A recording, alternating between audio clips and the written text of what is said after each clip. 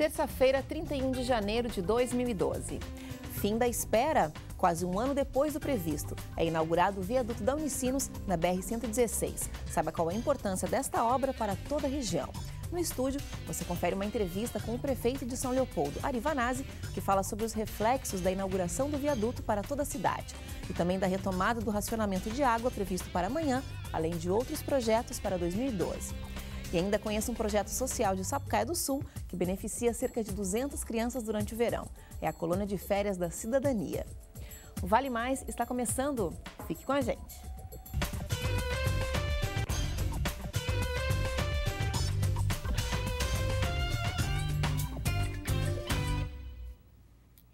Olá! Hoje, 31 de janeiro de 2012, marca um dia importante para a região. Depois de 10 anos de negociações e dois anos de obras, foi inaugurado o viaduto da Avenida Unicinos na BR-116. A previsão é que circulem diariamente pelo local cerca de 7 mil veículos.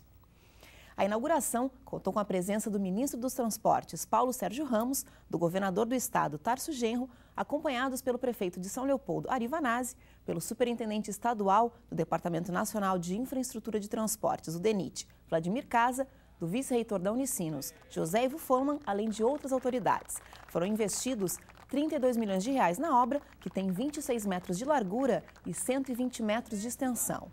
A estrutura conta com duas pistas, sendo cada uma com duas faixas de rolamento. Entre os principais benefícios está a redução no tempo de viagem para quem transita entre o percurso e o aumento da segurança no cruzamento.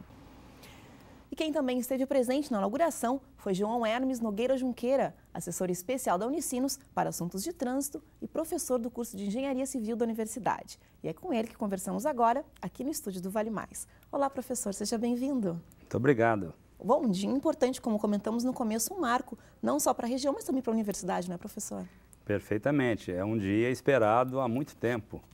Eu diria que desde o século passado, a comunidade universitária da Unicinos e a comunidade do Vale do Rio dos Sinos esperava uma solução positiva uhum. para esse cruzamento da Avenida Unicinos com a BR-116.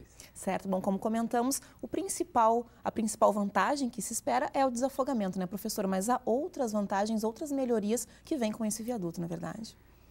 Eu diria que todo usuário da BR-116, né, e a comunidade universitária da Unicinos e a comunidade de São Leopoldo vão ser beneficiados tá, com o, o, viaduto que foi inaugurado hoje. Uhum. Realmente, nós teremos sensíveis reduções de tempo de viagem e, em consequência disso, reduções de custos de transporte para esses com usuários. Certeza. Mas eu diria que o mais importante dessa obra é justamente eliminar tá, um ponto de travessia né, de veículos e de pedestres muito perigoso. Talvez seja o ponto mais perigoso da BR-116 nesse uhum. trecho de Porto Alegre a Novo Hamburgo. Ele é considerado, né, realmente, um dos é mais considerado perigosos. um dos pontos mais perigosos de, de travessia em nível, uhum. né? no nosso caso aqui da, da, da Avenida Unicinos. E isso redunda em segurança para todo mundo. Né? Nós ainda temos um problema a resolver. Quer dizer, o viaduto, ele beneficia os veículos. E ele tem também agregado a ele uma passagem de pedestres, que vai beneficiar a travessia dos moradores dos dois bairros lindeiros da rodovia. Uhum. Só que isto, até então, tá, está ainda em execução. Tem obras complementares a serem feitas e pelas informações que o DENIT nos passou na inauguração, a sinaleira continua operando para atender os pedestres. Ah, certo. Tá? Uhum. Até que todas essas obras tá, de travessias, de sinalização para uhum. pedestres, sejam executadas para dar segurança nas travessias dessas pessoas. Certo, bom, penso que falta algumas, algum pequeno acabamento em função justamente da travessias para os pedestres. Quem circula a pé pode ficar tranquilo que a sinaleira ainda vai continuar ligada por um período. Perfeitamente, perfeitamente.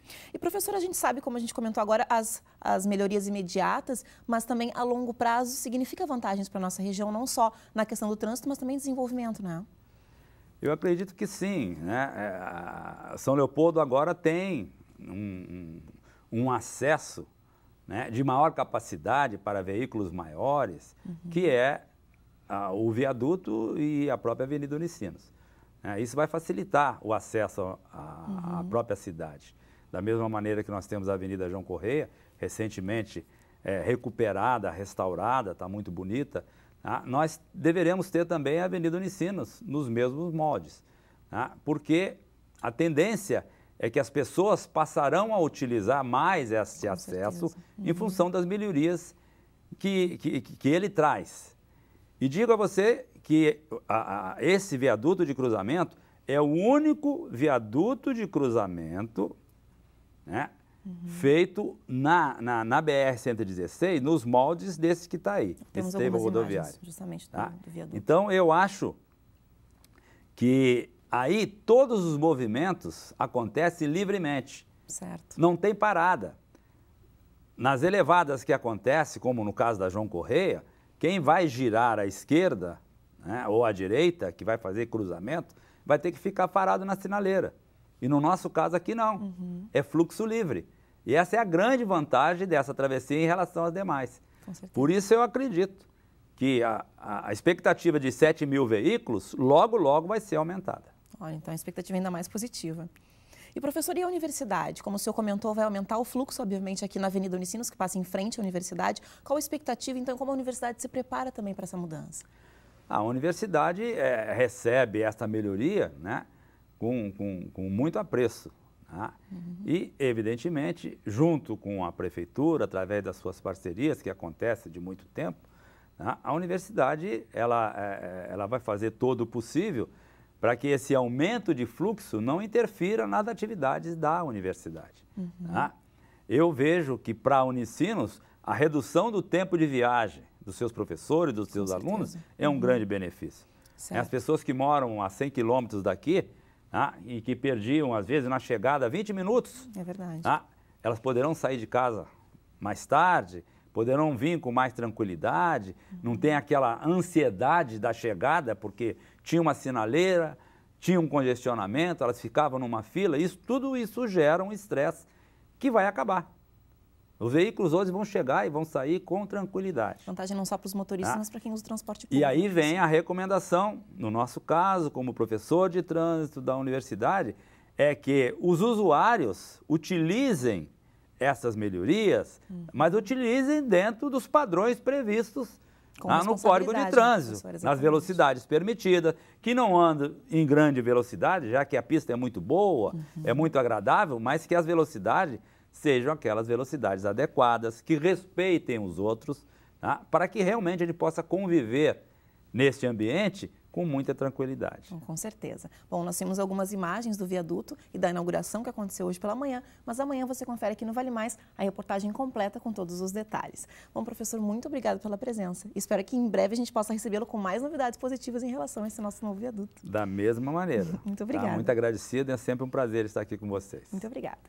A seguir no estúdio você confere uma entrevista com o prefeito de São Leopoldo, Arivanazzi, que fala então sobre os reflexos da inauguração do viaduto aqui na Avenida Unicinos. E vai falar também sobre a atual situação no Rio dos Sinos e da retomada do racionamento de água previsto para amanhã, além de outros projetos para 2012.